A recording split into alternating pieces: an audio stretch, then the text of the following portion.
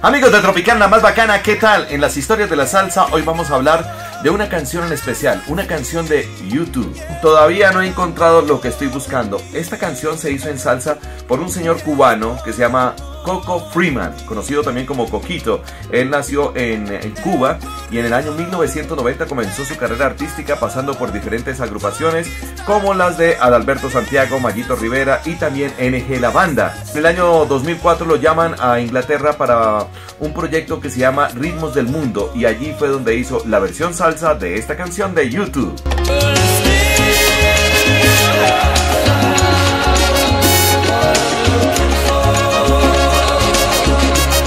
Y esto era precisamente para luchar contra el calentamiento global que reunieron todos los ritmos del mundo y Coco Freeman hizo esta versión. Historias de la salsa en Tropicana, la más bacana.